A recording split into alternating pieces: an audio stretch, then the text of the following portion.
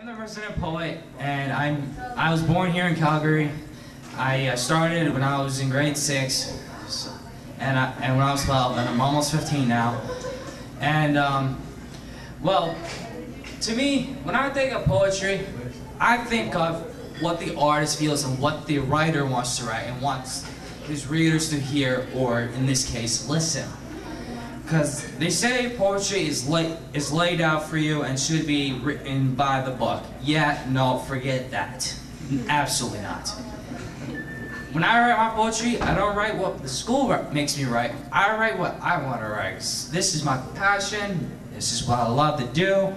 And I write this stuff day in and day out, and boy, do I need to sleep more.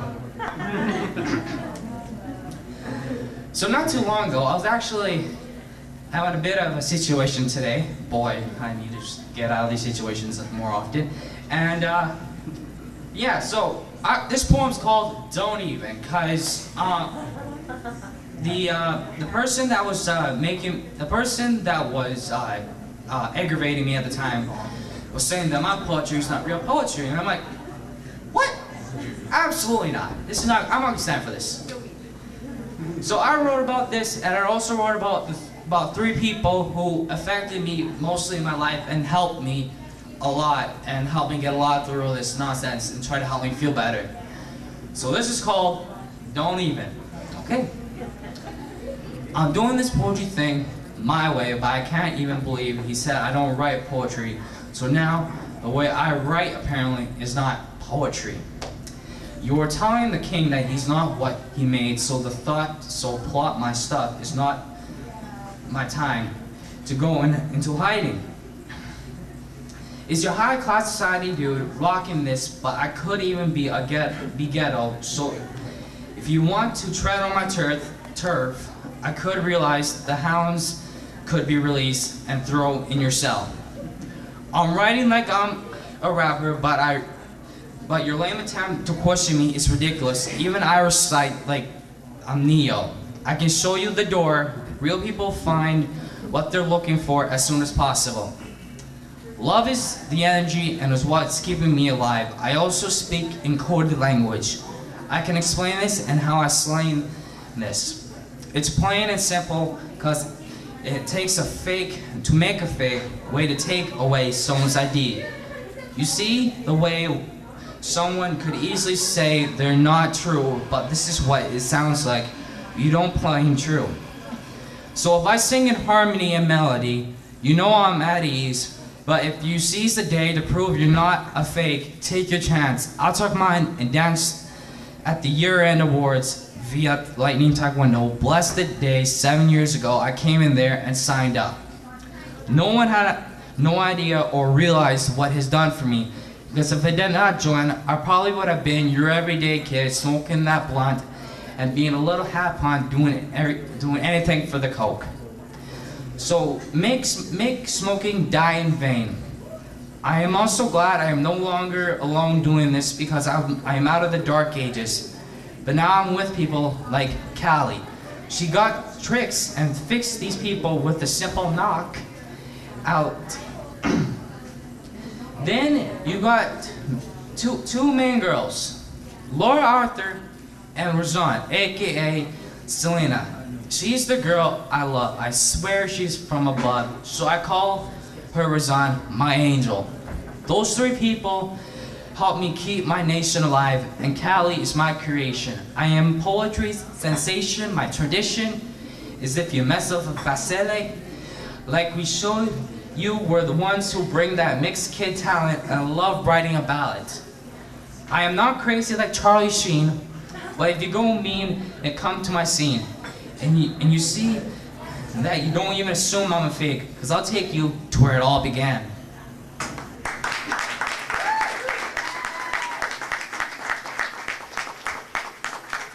Okay. Actually, I wrote this one just yesterday. Yesterday, I was confused as can be. Like, oh my goodness. Um, I don't know if I was mad, in love, or scared as can be. So this is this poem's called Too Mixed Already. Life has been throwing obstacles at me and already I'm only 14. What the heck am I doing being so mixed already? I have no idea what I'm feeling. It's like a triple threat. Fear, anger, or love. I ask too many questions to find an excuse with those people trying to keep my sanity sane or I don't end up in a sane asylum. But right now, I feel like I'm raising the hounds and get the mother loving blood on my hands and don't ask why. The nation of poetry has been taking so much hits like someone tried to put my kingdom on a hit list so my soldiers can be taken out. Razan have taken a lot, while Laura have had her fair amount, but that mixed kid, could be next. This woman burns through my veins every time she comes in my life. I feel like forging my fists on a sandbag, tag her like the subways of New York. Probably send her to Forks so my tirade may end, so I can send these mixed feelings away. So stay away from my stress. Hmm. Blessed to have met her, because lately I can't get her out of my head. I don't feel that pathetic no more, because she makes me magnetic to her. Transition like my mood swings, flaring and showing multiple sides of me. Should I get the blood on my hands? Should I feel like I'm blessed? Or maybe even scared?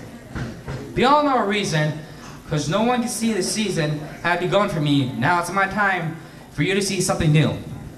I flew by most of these people, trying to work my way up, and now I'm a king, trying to sing My Girl, but resent I 143. Thank you, Ray Ray, for inspiring me to work harder and trying to make a verse, and I curse the fool who I'm sure is not doing that well. Say this is my original creation with the nation and my resurrection from almost the event of my demise, which is just as sweet as the day I fell in love with you know who. Brennan Basile had came for everyone to produce and show you that I approve myself, but my feelings are so mixed that I feel like I am mixed with Dr. Dre. I don't know if I should do the same thing as him and spend five years in the gym and hiding with no one but Callie by my side so I can enjoy the ride and be mixed as it is.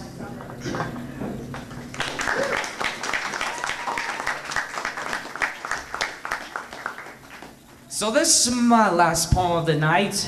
Ah, I should have brought more. I'm enjoying this. The, the poem has a lot of meaning behind this, cause um, I I'm like the I'm the usual kid that's I was a kid that was mixed in with the wrong group. I was in a school full of athletes, and I'm not no athlete. I'm a I'm a performer artist. I love performing. I love getting up on stage and doing this. This is my passion. So, um, when I met this one girl, I swear to God, I didn't know not know what love meant or even felt like until I met her. So this is what so this is called the love story. Let me explain my love story. Started, started looking for just a girl, not knowing this love game. Did not know the lame thing I was doing, so now my story goes like this. I wrote a lot of love poems, but they had no meaning to them. But when I was seeing you, I thought my chance could get better with someone that loves me, but sure, it was not fake. For someone to make their love story, I always tell her not to worry, but I know she loves me and will worry about me till she sees a smile on my face. Each and every day, and everywhere, whoever is always her on my mind, because I can't find myself to think about anything else except her. So I am mindless. Because I am not thinking about anything but the true love of Mr. Brendin Evans. Is all that's on my mind is her. Ever since March 4th, she and I would text day in and out, even the, in the late night phone chats we were having, sharing a laugh and showing each other love, telling each other we both from above in the heavens and we're the angels for our lives. Before I met her, I was in pain. I felt like the rain was on my veins, pelting me like the hail. We're a sign to set sail, and I felt like it was almost the only thing left for me. But now it's like I'm riding the love ride, looking good like I should. I know she don't want a hood rat, but she loves it when I scat. But, uh, but another, that's another story for another day. I must say this one part. Even today, at this very moment, I am madly and crazily in love with her because she got me doing losing my mind because my love for her cannot describe or even be described for that matter. I can't even find the right poem to recite about her because my love goes as far as the stars of the world can go. She's surely out of this world, and this is my love story.